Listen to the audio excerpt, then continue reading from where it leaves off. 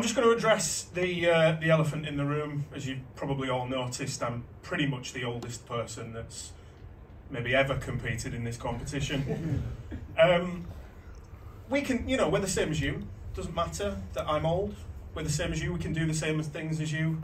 Admittedly, slower and in slippers, but we can do the same things as you. Um, I had to write that joke because I have accidentally come here in my slippers. Um, so apologies for that. I'm not even dressed. But no, I am. I'm knocking on a little bit, and um, you know, things get difficult when you get older. So, for example, I uh, I really do miss the fact, you know, the time in my life when people were talking about birthday parties. When I said to them, "I'm really sorry, I can't come." Um,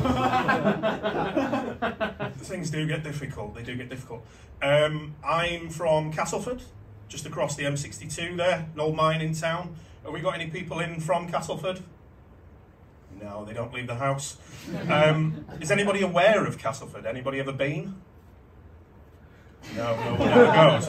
Um, but for those of you who don't know, Castleford's quite an old-fashioned place. Like I say, it's quite a quite an old mine in town in the way that things shut half day on a Wednesday for a market.